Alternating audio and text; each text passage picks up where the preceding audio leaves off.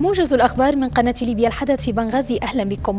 وصل إلى مدينة الكفرة أفراد كتيبة سبل السلام بالقيادة العامة للقوات المسلحة ومعهم ثمانية أشخاص من سائقي الشاحنات الذين اختطفتهم العصابات الإجرامية الأسبوع الماضي.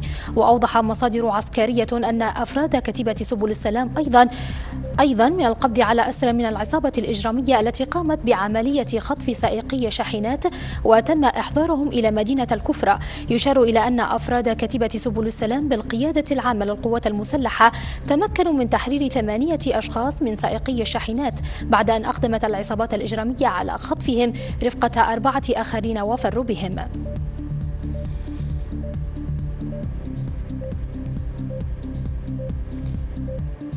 أدان مجلس النواب الليبي في بيان له عمليات الخطف والإخفاء القسري الخارج عن سلطة القانون في العاصمة طرابلس في إشارة إلى اختطاف رجل الأعمال ومدير قناة العاصمة الفضائية جمع الأسطى من منزله في طرابلس. وطالب المجلس في بيان في بيانه الإفراج الفوري عن كافة المحتجزين من دون وجه حق خارج سلطة القانون محملا الأطراف التي تقف وراء هذه الأعمال أو التستر عليها المسؤولية القانونية والأخلاقية المترتبة على هذه الأعمال. الأعمال.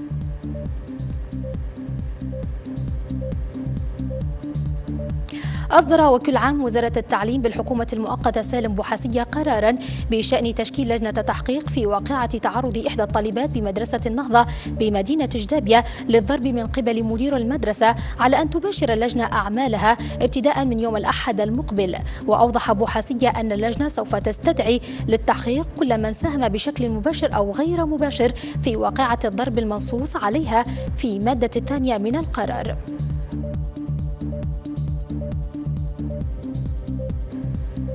أعلنت المؤسسة الوطنية للنفط أنها بصدد البدء في صيانة لمدة أسبوعين لمنصة صبرات البحرية بحقل بحر السلام. المؤسسة أشارت عبر موقعها الرسمي إلى زيارة مصطفى صنع الله وأعضاء لجنة الإدارة للحقل للإشراف على أعمال الصيانة التي ستبدأ مع بداية شهر أبريل.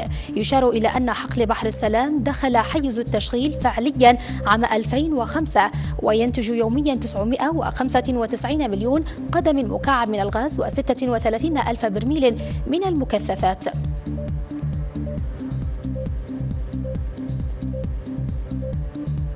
أبحرت أول سفينة شحن لاتحاد المصدرين السوري إلى ليبيا تحمل شحنة تقدر ب 300 طن من صادرات السورية. وأوضح رئيس القطاع الزراعي إياد محمد في تصريح لوكالة سانا السورية أن الشحنة تتضمن ألبسة وأحذية ومواد غذائية مشيرا إلى أهمية الخط التجاري بين دولتي ليبيا وسوريا لافتا أن السوق الليبي يعد نافذة نحو دول الجوار الإفريقي. مضيفا من المتوقع انتظام هذا الخط برحلات متكررة وتوسع الصادرات لتشمل كل أنواع المنتجات المطلوبة في ليبيا.